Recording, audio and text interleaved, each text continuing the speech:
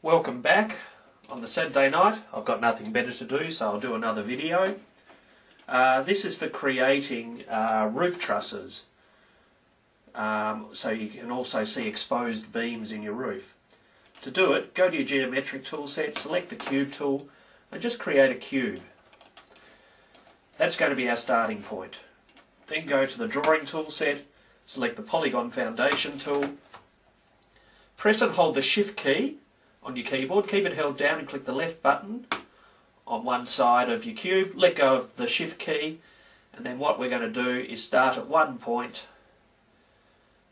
and we're going to draw out ignore my spacecraft in my scene. Another roof truss and then we're just going to set the thickness of it. Now you can see it's turned blue. That's because the control points are going to cause this shape to complete all you need to do to stop this, go to the select tool, click on one of the control points, go to the object options and change the Y scale to let's say 20 mil in this case. And then what we'll do is go to the draw tool and draw out that point. Right, click on that truss, go to options and we'll set the thickness of it. To whatever you need to set it to. Once we've got that, click on that shape, go down to the context bar and go build roof base. I know it may seem a bit odd. And we're going to set the spacing. So in this case we're going to go 900 mil apart.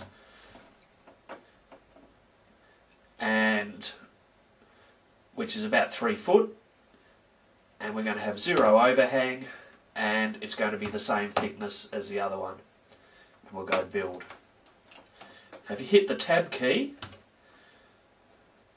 you can click on the next one, go, hit the tab key, go build, click on the next one, hit the tab key, go build. Now we've got a set of roof trusses which we can move with that cube.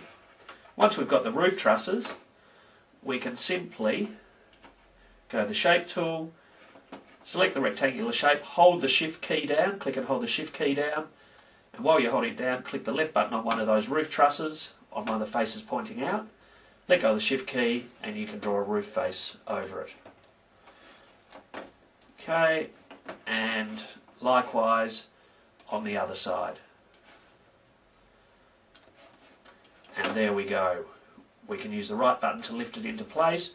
We can copy and paste that and we can save that as an object for another project.